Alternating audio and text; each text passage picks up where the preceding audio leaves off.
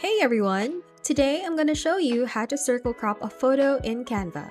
It's super easy and quick. Let's get started. On the left sidebar, click on Elements. This is where we'll find the frame we need. Scroll down until you find the Frame section. The circle frame should already be there, but in case it isn't, click on See All to view all the frames.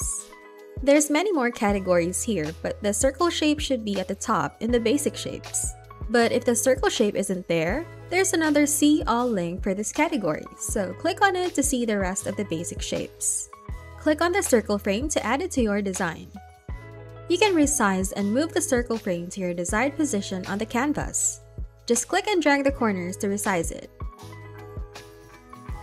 Next, head over to the Uploads tab on the left sidebar. If you haven't uploaded your image yet, click on Upload Files and select the photo you want to use.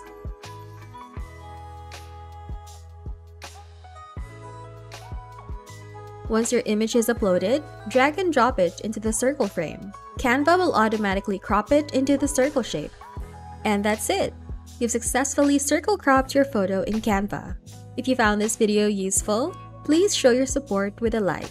Your feedback is invaluable to us, so feel free to share your thoughts and suggestions in the comments section below. We're eager to hear from you.